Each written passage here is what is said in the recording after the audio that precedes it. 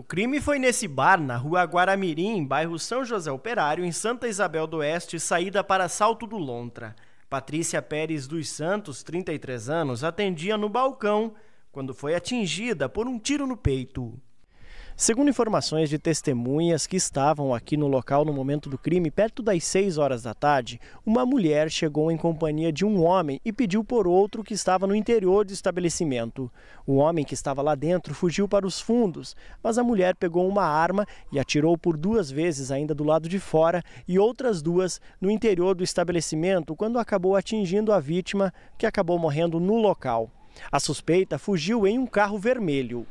De acordo com a proprietária do bar, Patrícia era de Cascavel e trabalhava no lugar há cerca de um ano.